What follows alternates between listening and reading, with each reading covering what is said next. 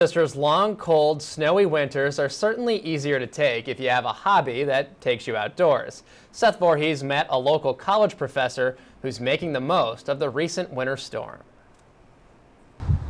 Winter's kind of isolating, you know, the color of it, uh, the, the temperatures associated with it. Michael Peres is no meteorologist, Every flake is beautiful. but he still knows snow. The great flakes just start. I'm always looking at my jacket to see, oh yeah, these are good ones.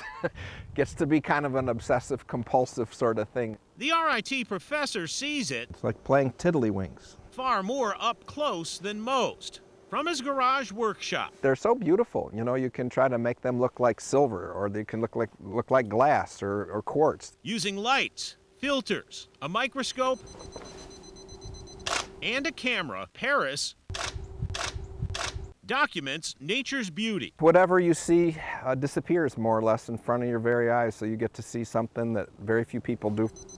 No two snowflakes are alike. No, not a single flake. Using velvet on a tray, Peres captures them. And I walk around my driveway, my neighbors think I'm nuts, and I'm looking for good flakes.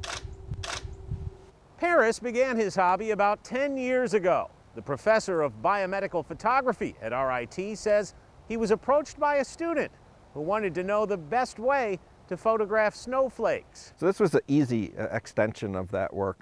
So rather than working with preserved specimens that are in between slices of glass and stained, I work with natural objects that fall from the sky. Each crystal is unique, There's some really tiny flakes here. different, in its own stunning way.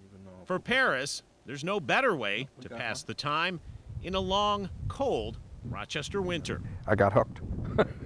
it's a lot of fun. Seth Voorhees, YNN.